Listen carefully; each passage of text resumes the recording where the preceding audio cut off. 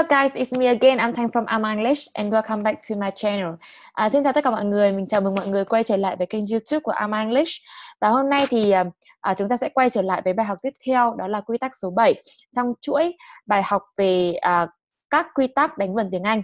Ok, quy tắc số 7 là từ có chứa o u. Vẫn câu hỏi thường ngày Thanh hay hỏi mọi người how to pronounce these words. À, mọi người thường phát âm những cái từ này như thế nào? Ok, the first one, cái từ đầu tiên là từ Yes, cloud, right? Từ mây đúng không? Mình có từ cloud, cloud. Mọi người để ý cho Thanh cái từ OU, cái chữ OU đây mọi người đọc thành âm gì nhá? Ok, đầu tiên Thanh đọc cái từ này là cloud, cloud. Next one. Tiếp theo, Thanh có từ cái mồm đúng không? Mình có từ mouth, mouth, mouth. Ok, next one cái từ ghế băng ờ, ghế dài đúng không? Mình có từ couch couch couch couch. Rồi, mà thấy, mọi người có thấy có điểm chung gì ở đây không ạ? Đúng rồi, au ở đây thường được phát âm là âm ao, âm a u. Nhớ nhá. Ok, ao, ví dụ mình có từ cloud. Next one. Ao, mình có từ mouth. Next one owl mình có từ couch. Được gọi rồi vậy thì quy tắc của hôm nay là gì? Để chúng ta sẽ xem quy tắc hôm nay là cái gì. Và các bạn đã chuẩn bị được uh, uh, sổ và bút để ghi vào chưa? Uh, lưu ý nhá tất cả quy tắc này rất là nhỏ nhặt thôi nhưng mà hàng ngày chúng ta sẽ tích lũy dần dần. Thế nên là hãy chuẩn bị mở cho em một sổ và cái bút và ghi chép đầy đủ các quy tắc cũng như là luyện đọc uh, chi tiết các cái âm này. Được chưa ok. Rồi Rule number 7, quy tắc số 7. Đối với những cái từ nào mà các bạn thấy có chứa OU, có chứa OU thì trọng âm sẽ rơi vào OU, tức là trọng âm sẽ rơi vào cái chữ OU đó, được chưa?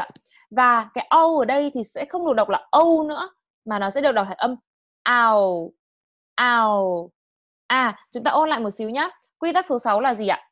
Nếu ai mà chưa xem quy tắc số 6, mọi người có thể lên kênh YouTube của Arma English để uh, nhấn click và xem quy tắc số 6 từ quy tắc số 1 đến quy tắc số 6 nhé. Thì Thanh nhắc lại một xíu. Quy tắc số 6 đó là gì? Đó là nếu mà chúng ta thấy xuất hiện mặt chữ mặt chữ tức là à, trong cái từ đấy có xuất hiện chữ AU thì cái chữ AU này sẽ được phiên âm thành chữ O O dài trong tiếng Anh. Được chưa? AU nếu mà chữ là AU thì sẽ được phiên âm là O dài trong tiếng Anh.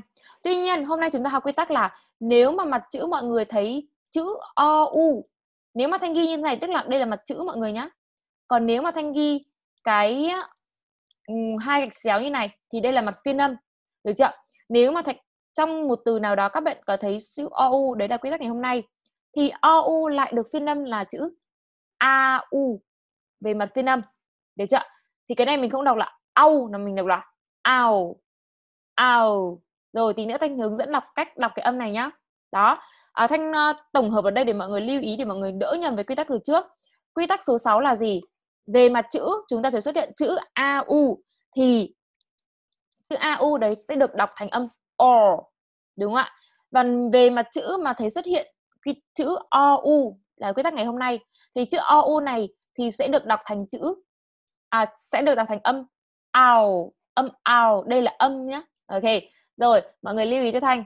Và chớ trọng âm thì sẽ rơi vào o u và ou ở đây sẽ đọc thành âm ao vậy thì cách đọc cái âm ao này như thế nào? Chúng ta sẽ đi sang cái bài tiếp theo slide tiếp theo nhá. Okay. mọi người nhìn vào cho thanh cái phần phiên âm ở phía dưới. Được chưa à, cái âm au này được biết đến nó là một nguyên âm đôi. Một nguyên âm đôi tức là sự kết hợp giữa âm e và âm u được chưa à, tất như thông thường cái bài hôm trước à, đối với âm ei này thanh đã hướng dẫn mọi người cách đọc của nguyên âm đôi rồi. Để chúng ta hôm nay sẽ nhắc lại. Đầu tiên cách đọc nguyên âm đôi này là gì? À, chúng ta hiểu bản chất vấn đề đó là au là sự kết hợp giữa âm e và âm u. Thì đầu tiên đọc cái âm e này chúng ta sẽ đọc cái thanh ngang tức là đọc ngang bằng e e e. Thứ hai u ở cái âm, nguyên âm đằng sau thì chúng ta sẽ đọc với thanh huyền, tức là đọc với giọng đi xuống. Mình đọc mình đọc u thì mình sẽ đọc thành u. Được chưa và chúng ta nối vào thì nó sẽ thành au au au au au au au bản chất nó là au au au au đó. Chứ không phải là âm âu, mà nhiều người đọc thành chữ âu nhá. Nghĩa là au au au au đúng không au au au okay repeat after me. Au au khi mà cái âm u này mình sẽ nhớ chu môi cho thanh nhá. U, đúng không? Au au au được chưa mọi người lưu ý cách đọc của nguyên âm đôi nhá. Rồi, chúng ta sẽ sang cái phần tiếp theo, đó là phần luyện đọc à, như mọi khi mọi người cố gắng là đọc cùng với thanh sau đó thì phải luyện đọc đi đọc lại nhiều lần để chúng ta quen cái khẩu hình miệng đó. Chúng ta tập cách nhìn phiên âm nhé ở đây mình có âm a u này. À ở đây có âm o u. Nếu mà cho từ một âm tiết thì nó sẽ không có trọng âm đúng không ạ? Thì trọng âm sẽ rơi vào au luôn nó sẽ không có trọng âm. Và cái ou này sẽ được phiên âm thành au ở phần mặt phiên âm. Vậy cái từ này mình đọc là cloud cloud cloud cloud. Cloud. Ok, next one. Tương tự. Mình có từ au đấy là au này. Mouth mouth mouth mọi người mọi người lưu ý chữ âm sờ này cho thanh nhá. Sờ ở đây mình đọc là mọi người cho lưỡi ra, đây là âm vô thanh. Đó, ok.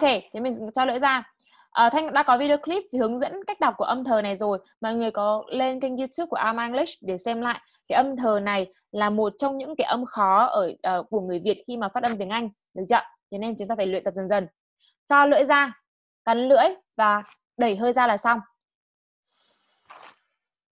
Đó ok nhớ là không rung nhá. Chạm vào cổ mình sẽ không cảm thấy rung này. Ok và cái từ này mình sẽ đọc là mouth mouth mouth ok, next one. Tương tự au ở đây sẽ phải là au mình sẽ đọc là south south south ok, next one. Au đọc là au found. Found.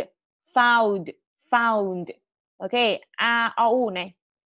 Count count count o u đọc thành a u sound sound sound douse douse douse âu này. Bowed bowed bowed âu đọc thành a này. Crouch crouch crouch. Nếu các bạn thấy xuất hiện chữ chờ về mặt chữ, thì các bạn sẽ được phiên âm thành âm này. Âm tờ sờ này. Được chưa luôn luôn là như vậy nhá. Vì vậy chân cái chữ chờ này mình sẽ được phiên âm là ch, ch, được chưa mình sẽ đọc là crouch crouch crouch. Ok next one. Trout trout trout. Au này au này. Gouge gouge gouge. Ở đây nếu mà các bạn thấy chữ g mà sau chữ g là cộng với chữ e thì cái chữ g ở đây mọi người sẽ được phiên âm thành chữ j ok. Chữ d và chữ số 3 được chưa? Và lưu ý cái chữ âm e thì cuối từ là âm câm thì mình sẽ không được phiên âm. Được không? À, nếu mà xuất hiện g cộng e thì g sẽ đọc thành j. Và cái âm e nếu mà cuối từ thì e sẽ e câm cho nên mình sẽ không được viết được phiên âm ở đây. Đúng chưa? Ok. Mình đọc cái từ này là gouge gouge gouge. Au được au này. Ground ground ground ground. Cố gắng nhắc lại theo thanh nhiều lần nhé rồi tiếp theo chúng ta sẽ phần sang phần thứ hai. À, phần này thì thanh sẽ đọc à, cái dòng đầu tiên thôi. Còn ba dòng cuối thì mọi người sẽ cố gắng về nhà luyện tập đọc theo như thành hướng dẫn. À, làm sao mà để mình có thể đọc trôi chảy nhất có thể và cái khẩu hình miệng của mình đúng.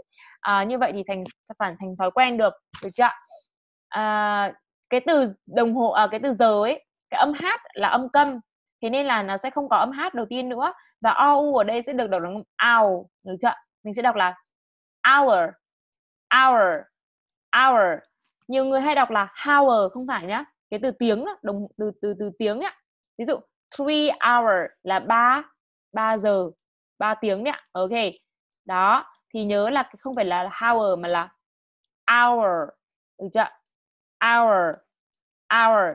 Next one. O đọc bằng ao này. Noun noun noun. O này. Pound pound pound. O này. Round round round. Ok. Rồi tương tự các cái từ còn lại ba dòng cuối các bạn sẽ cố gắng đọc. À, nếu mà có thể các bạn sẽ ghi âm lại và sau đấy gửi lại cho thanh thì thanh sẽ chữa cho mọi người nhé thì đây là à, nhìn vào cái phiên âm này và các bạn sẽ đọc theo cái phiên âm đó để sao cho mà mình có thể luyện được cái âm đọc sao cho phù hợp nhất và giọng của mình sẽ hay nhất. À, dẫn đến trong quá trình giao tiếp nó sẽ đạt được cái à, hiệu quả cao nhất trong quá trình giao tiếp. À, âm của mình đúng à, mình hiểu nghĩa của từ như vậy là giao tiếp ok. Ok ok that is for today. Um, đấy là kết thúc của bài học ngày hôm nay. Và nếu mà mọi người thấy video clip của thanh hay thì hãy cho thanh một like và share video clip để cho nhiều người cùng với học cùng mình. Và sau đó subscribe kênh youtube của Ama English để có thể đón chờ tất cả những cái um, những cái bài học rất là hay về phát âm về giao tiếp uh, trong cuộc sống hàng ngày. Thanh sẽ làm một chuỗi các bài giảng uh, theo chủ đề chứ mình sẽ không không không gọi là mình sẽ không gọi là uh, kênh YouTube uh, mình sẽ không gọi là lên YouTube để xem những cái bài học hay hay mà tất cả những cái bài giảng của Thanh đều theo chuỗi các chủ đề hết. Ví dụ học phát âm thì có một chuỗi các bài học về phát âm học đánh vần tiếng Anh ghi phiên âm thì có một chuỗi các cái bài học về ghi phiên âm và đều tất cả đều được chia sẻ free ở trên kênh YouTube Ama English. Mọi người hãy uh, đón chờ và cố gắng là bắt đầu một chuỗi các bài học nào thì mọi người sẽ theo từng bài một từng bài plan một. Và thanh có hướng dẫn cụ thể uh, có bài tập về nhà uh, rồi mọi người sẽ làm thực hiện theo đúng những hướng dẫn của thanh và sau đó feedback lại cho thanh về cái cái hiệu quả mọi người đã đạt được trong quá trình mà mình học nhé. Okay, that's it for today and thanks for watching my video and see you next time. Bye.